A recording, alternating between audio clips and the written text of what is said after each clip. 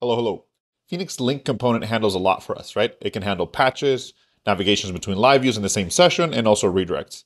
But because it's a component, it leaves us maybe at a loss for words for what should we make a component if we want standard links around our code base. Let me show you what I mean. We have a simple app here and this edit and delete, right? Two links that ideally we would want to style, right? So if we look at the HTML, I could go ahead and pass a class here, say uh, underline text blue 500, right?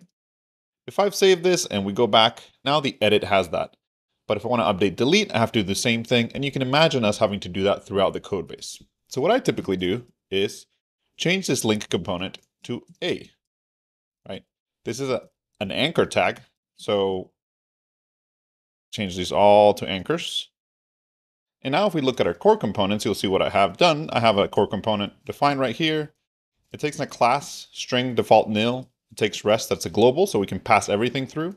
And the inner block that is whatever's rendered inside the link. And we're just basically forwarding to the link component where we have our default class. We can still override it if we pass other classes. And we pass rest right there. And we render what's inside the link. And this allows us to have a consistent style so long as we use this new anchor component, right? So if we look back at the web page, you see that both edit and delete have that. And we're good to go. I hope you like it.